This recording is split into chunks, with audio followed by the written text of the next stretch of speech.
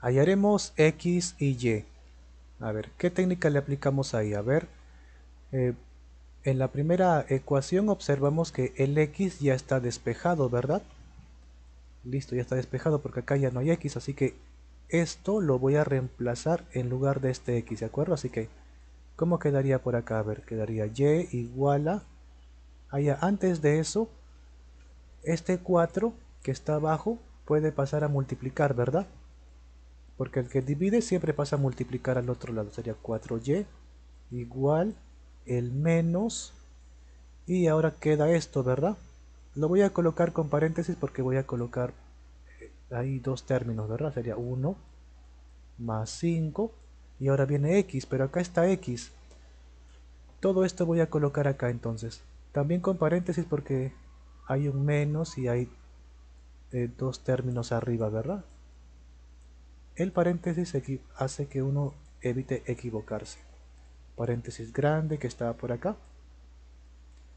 Y listo, ahora a desarrollar.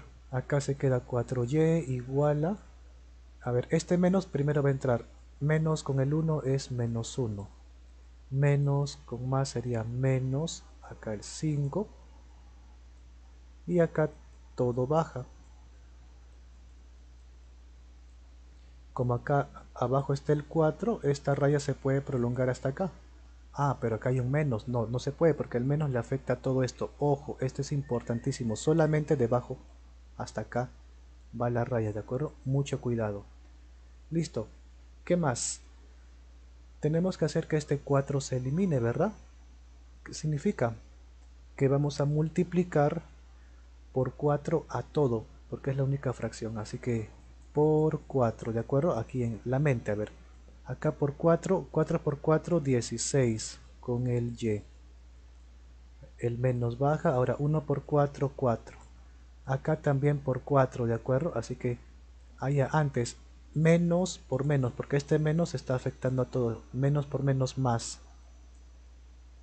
Listo, ahora por 4 recién ahora voy a colocar 5, por 4 así, estratégicamente, ahorita van a ver por qué no lo multipliqué de frente. Acá solamente 3y más 3 porque el menos ya se fue afuera y ya se multiplicó. Este 4 que está multiplicando se puede eliminar con el que está debajo. Ahora sí. Sería menos 4. Ahora este más 5 multiplica lo que está dentro del paréntesis. Más 5 por 3y sería más 3 por 5, 15. Ahora más 5 por más 3. Más por más es más y 5 por 3, 15. Y de acá ya puedo hallar el y a un lado, por acá vamos a colocar todos los que tengan y, ¿de acuerdo? Sería 16y, acá más 15 pasa como menos 15y. Y al otro lado acá se quedó más 15 menos 4 que sale 11. 16 menos 15 es 1, 1y que sale y. Listo, ya tenemos el y. ¿Qué falta? Falta x. ¿Dónde reemplazo? Acá que ya estaba listo. Abajo está el número 4. Ahora arriba. 3 por y, o sea 3 por 11.